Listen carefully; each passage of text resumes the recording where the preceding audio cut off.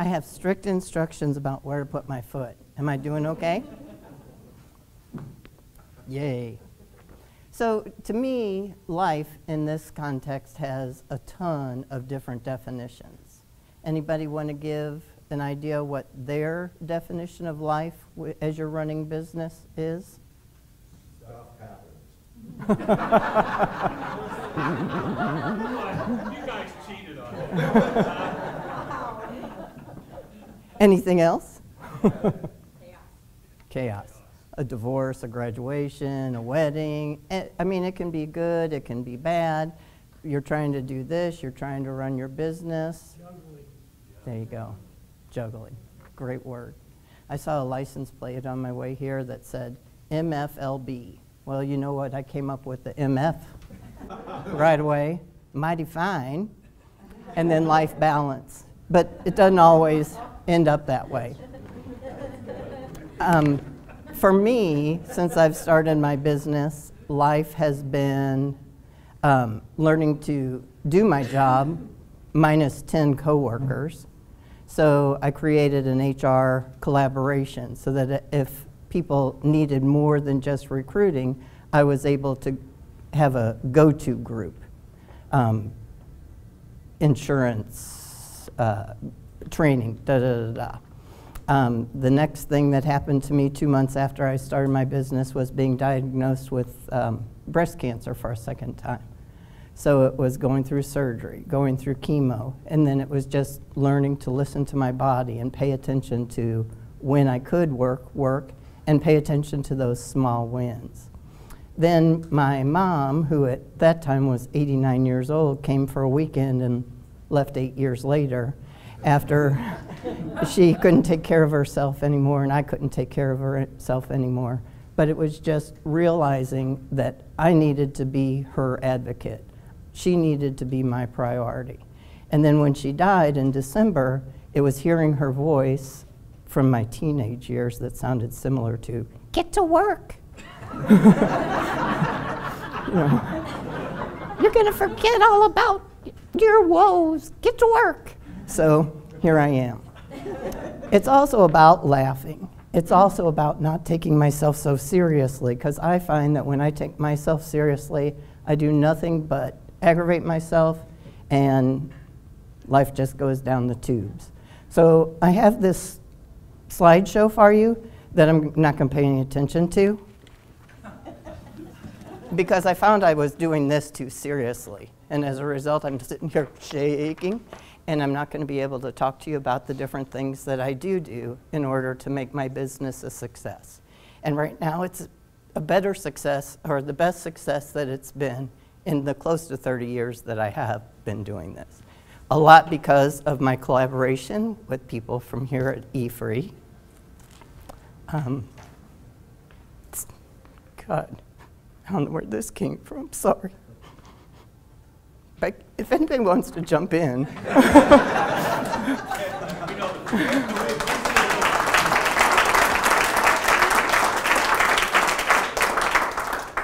it's being grateful, you know, knowing when to appreciate and what to appreciate and what to toss to the side and kick to the curb and man can I kick. Um, it's collaboration. Again, I don't know, are any of you TED Talk people? Yes, yes, So are you familiar with Rachel Botsman? I am not. She does a TED Talk on collaborative consumption. And for the most part, she does talk about bigger things like Uber or Airbnb. But if you look around St. Louis, Medici Media Space is a collaboration. Um, uh, can you help me? Business Lodge. And are you familiar with, um, oh shoot, Jacqueline Way, as far as the TED Talk and Giving 365 Give? She started an educational program for her three year old. And I figure if a three year old can do it, I can do it. so um, each day they were going to do something to give back. And that's what I try to do every day. It can be something dinky. It doesn't have to cost you anything. It could be smiling at somebody as you're walking down the hall. It can be reaching out to a person. I had dinner last night with my mom's 92 year old friend. I think she enjoyed it, you know, just being nice to people.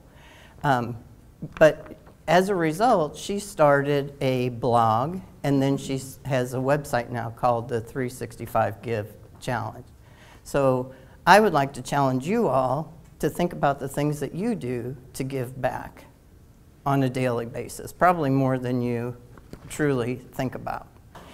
All of this, bottom line, is about choices and choices to get out of bed, to do the right thing, to do what you can when you can.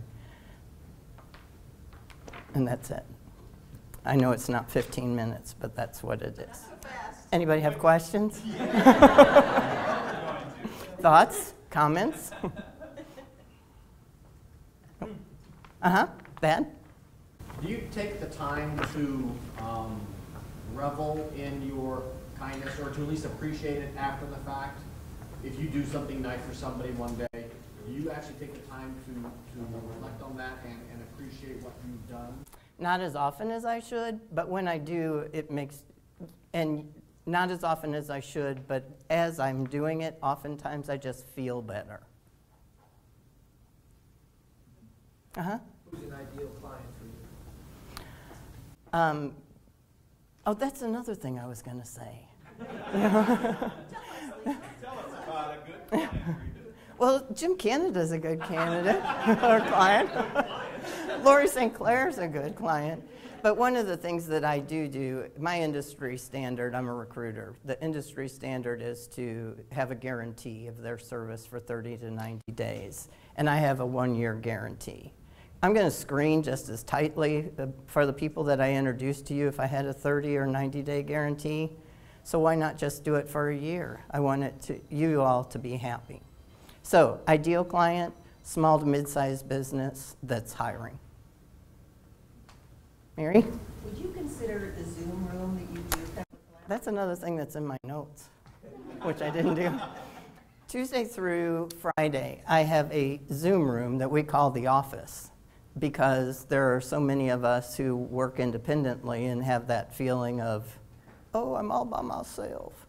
Um, different people from different industries get together in our Zoom room. Yesterday, actually, Mary, I was reading my introduction and I said, Will you listen to this? And she said, Read it again. And I said, and she said, Will you? Well, in my head, it was, Ew. No, not really. but she said, Shoot it to me. And five minutes later, I had my introduction. She said, I'm not married to it, make it changes. I didn't. I just shot it to Glenda, and here I am today. So, Lori? So, you know, I think juggling was a great word that was thrown out at the beginning um, because it is a huge juggling act between, you know, personal life, family, everything going on there and the business side. Um, what kind of things have you used along the way with the different things you've experienced to kind of kick your butt in gear and to stop the woe is me, this is going on, that's going on, to say, hey, just jump back in, you gotta, you know, put one foot in front of the other. What, what are some, some things that you've done to help kind of kick your butt back into gear and, and balance the two? Well, first of all, it is reaching out to people and saying, you know, hearing them say, Lisa, you're not so bad. Um, I use a matrix that tells me that if I haven't made my calls, if I haven't sent the emails, if I haven't reached out on LinkedIn, it's staring me in the face and I really don't have anybody to blame other than me. And it is. It's truly just collaborating and recognizing I can't do all of this by myself. I need to reach out to other people.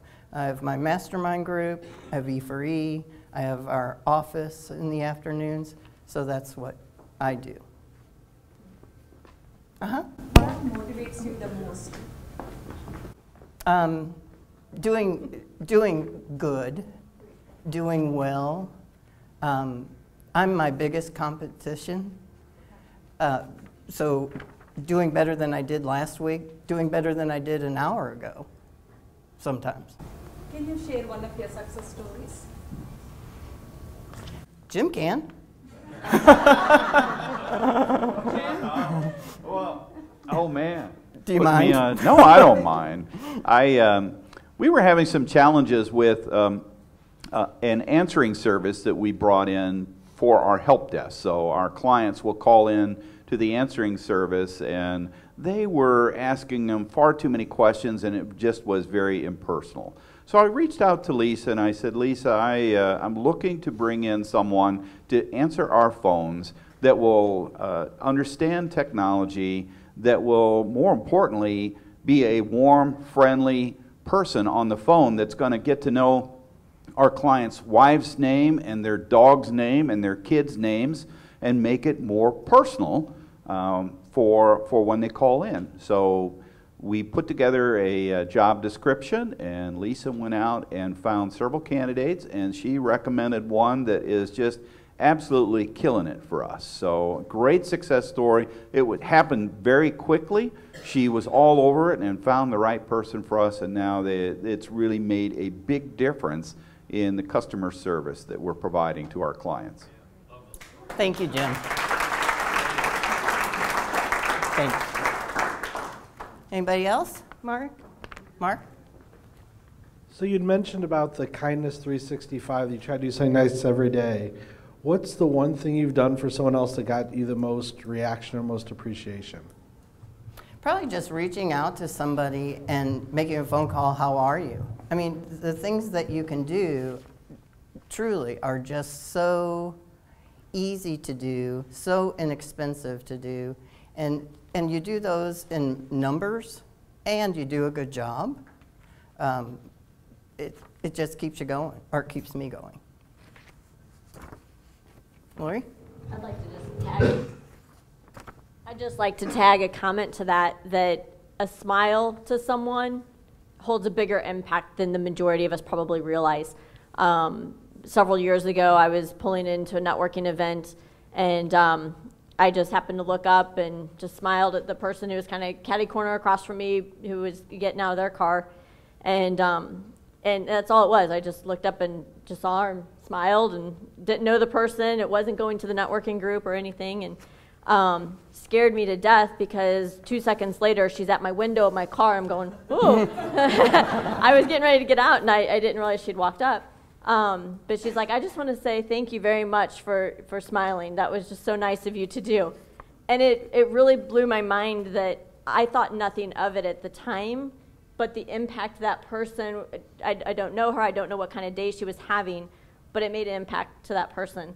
And um, that's something that has always stuck with me ever since that a small thing, just a smile to someone that you don't know, you're just passing by, can have such a huge impact on that person's life. Writing a note to somebody can have a huge impact on someone. Anybody else? Dale?